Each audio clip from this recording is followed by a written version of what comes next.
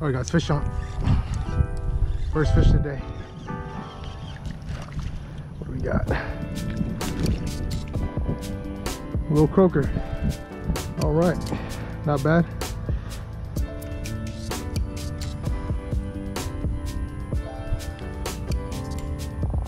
Just casting right up against the uh, the structure here.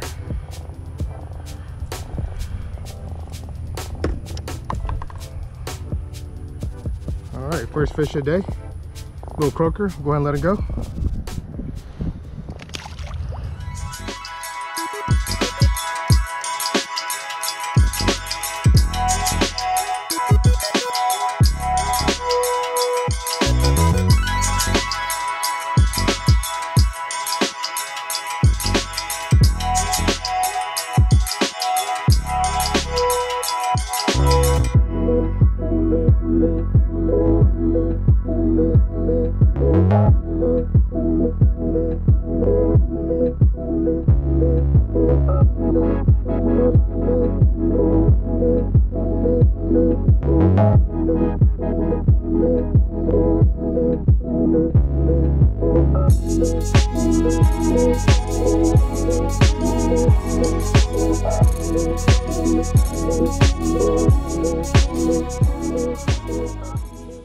Good morning guys, welcome to the channel. In today's video, we're gonna be doing a review of my paddleboard that I have set up for fishing. We'll start at the front and then we'll work our way to the back. Let's get started. Front of the paddleboard here, you've got this nice carry handle here. Very, very useful for getting the paddleboard in and out of the water and transporting it. Uh, you got one here at the front. You have one here in the middle and you also have one on the rear. Let me move this out of the way. This is it the front of the paddleboard here as you can see. It's got a beautiful beautiful design. This the this is the native floral jaws design. It's got these sharks right here. You have these d-rings multiple d-rings here that help to secure your belongings with these bungees and what I do is I store a tackle tray or I keep my net up front here. So when I put the net up front. This paddle board does come with a three-piece paddle as you can see here. I have it leashed. This is a YakGear attachment. I have it leashed to the side here. This is a uh, another D-ring here on the side as you guys can see a lot of deck space to work with. It comes with this EVA foam deck pad. Helps to keep everything dry up front. On the side you can see it says Bote Breeze a little bit of specifications about this paddle board. This paddle board is 10 foot 8 inches long. The width is 33 inches across it is six inches uh, as far as the thickness. And the approximate weight of the paddleboard when you fully inflate it is 20 pounds. Total weight capacity is 250 pounds. The materials of the paddleboard is an inflatable aero ultra technology. It's a uh, pvc plastic material. The recommended inflation is about 10 to 15 psi and the time as far as to uh, inflate it if you were to completely deflate it take it to your destination and inflate it is about 10 to 15 minutes with a hand pump. If you uh, fully load it in the bag uh, the weight of the bag is about 26 pounds. Right out the box this is what's going to come with it is this nice backpack here. This is a travel case. I'm going to flip it over it's a beautiful beautiful bag here. Very very sturdy. And then you come with this uh, it comes with this hand pump here. And then over here you have your owner's manual. And you have this repair kit here. That's what's included in the bag uh, whenever you buy the paddle board. And it also comes with a three-piece paddle. Okay let's take a real quick look at the attachment of the ice chest. This ice chest is a, a Magellan 30 quart and it has four rod holders one two three four rod holders here.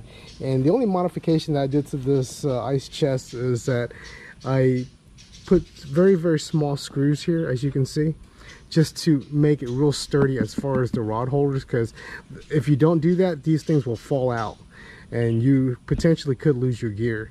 The other thing that i did was I, I got these cam straps here. These are just regular straps that i got from walmart and i cut them down to fit.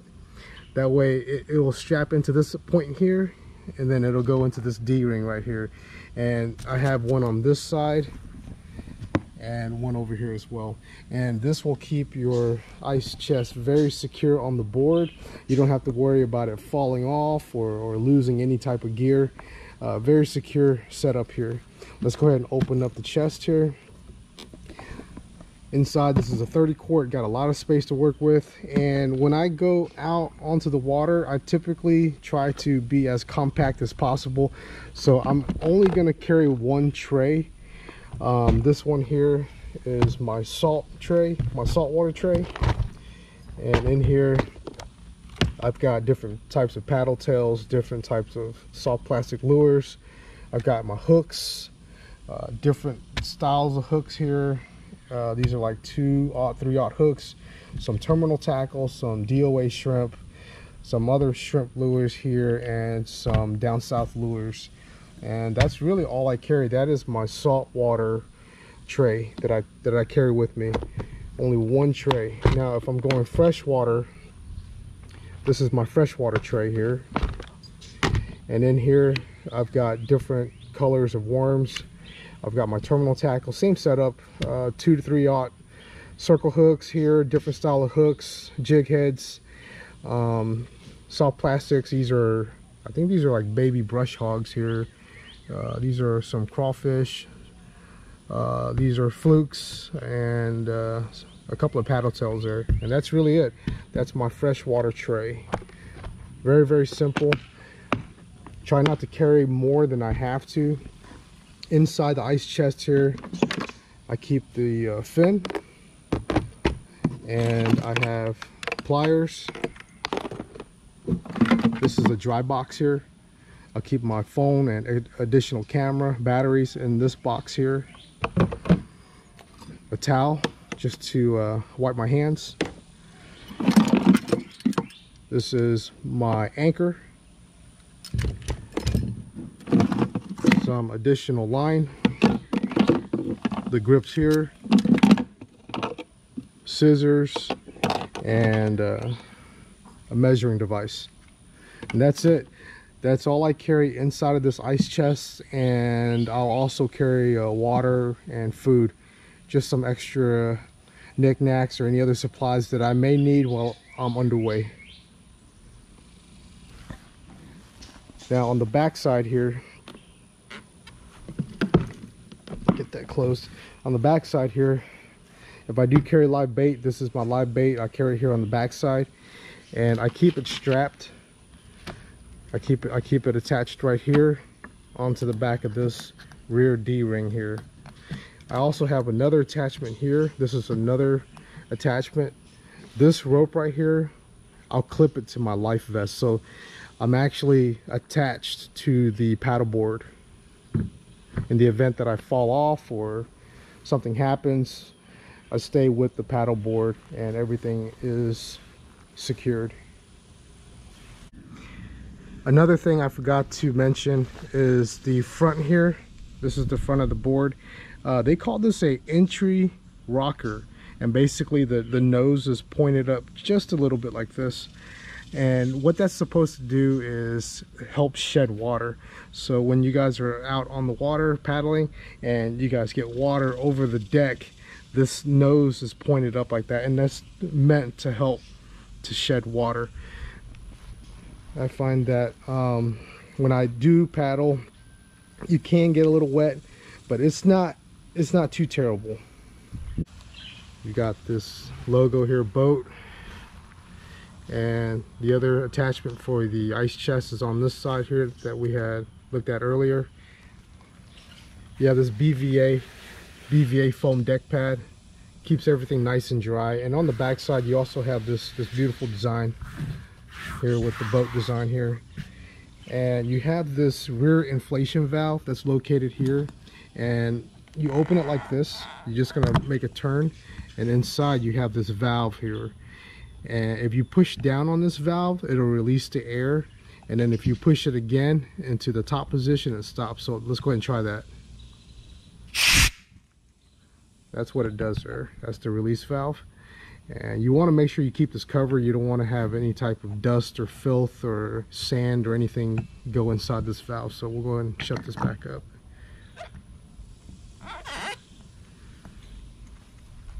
Let's go ahead and take a look at the back. You've got this rear this rear carry handle here. Again this is real useful for transporting the paddleboard in and out of the water. And uh, the underside here you've got these two fins here, these two side bite fins. Let's go ahead and flip the paddleboard over so you guys can take a real quick look.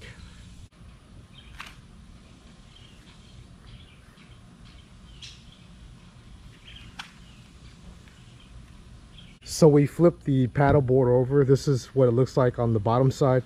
You've got this nice big logo here, Bote, and another logo here.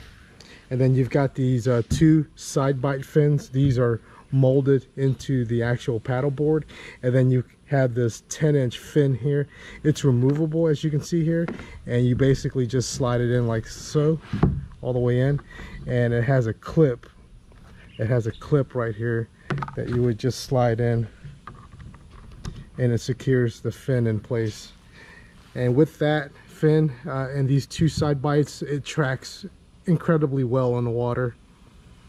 Right over here Aero Ultra inflatable SUP. We've stripped everything off the board here. We took off all the uh, fishing gear, the ice chest, and this is what it looks like without all the accessories. It's just the paddle board and the paddle, and I have the, the leash right here on the side.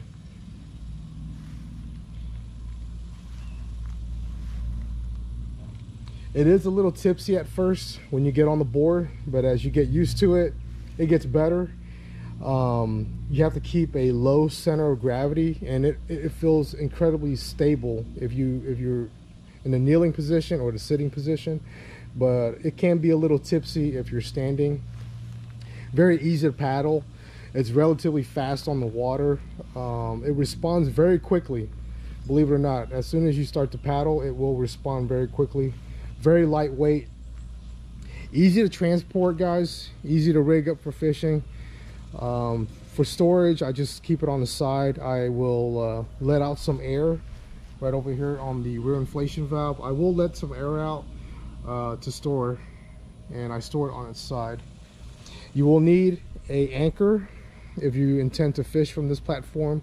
Definitely an anchor is a must because what happens is when you get out on the water the current or the wind will push you around. And it's just difficult to maintain position without an anchor. But overall this paddle board it, it's it's been it's been pretty nice. It's a lot of fun when you get out there in the water. I beat this thing up already. I've gone on this paddle board four trips and i've hit log stumps. I've hit submerged pilings and barnacles. And i've already made a repair right here as you guys can see. This this patch right here uh, very similar to like a, a, bicycle patch. If you guys ever repair like a flat tire on a bicycle, it's the same uh, same concept. They just give you a little bit of this. Uh, it's like a PVC plastic, and it's uh, marine marine silicone, and you just rough the edges a little bit on both sides, and you put the patch on. It cures over 24 hours. Very strong and durable. But uh, I got this this puncture here from a hook of all things i was bringing the fish in and the hook the hook hit that spot right there. And it was a very slow leak.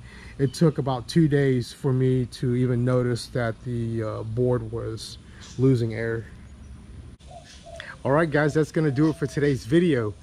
I hope you guys found the information useful over the Bote Breeze 10 foot 8 inch uh, paddleboard inflatable paddleboard here I uh, want to thank you guys so much for watching today's video.